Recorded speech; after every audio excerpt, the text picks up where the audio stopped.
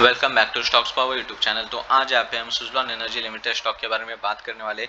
और latest update भी यहाँ पे देखने वाले। तो सुजलॉन एनर्जी लिमिटेड स्टॉक की बात की जाए तो फ्राइडे के दिन 9.75 पे क्लोजिंग दिए सुजलॉन एनर्जी स्टॉक ने डे एंडिंग में एक उछाल भी देखने को मिला था, यहाँ पे आप देख सकते हो। फिर भी यहाँ पे टेन लेवल पे रजिस्ट्रेशन लग के ही गिरावट देखने को मिली थी।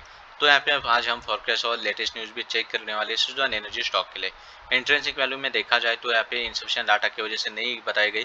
इन यहाँ पे आप देख सकते आर वर्सेस एफ़ रेट भी इंसफिशियंट डाटा की वजह से नहीं बताया गया।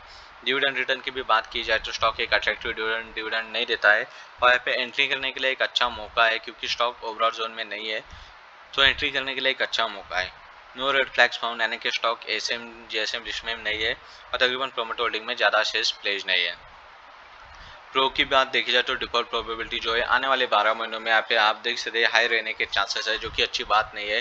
क्वालिटी चेस की भी बात की जाए तो इनसफिशियंट डाटा है।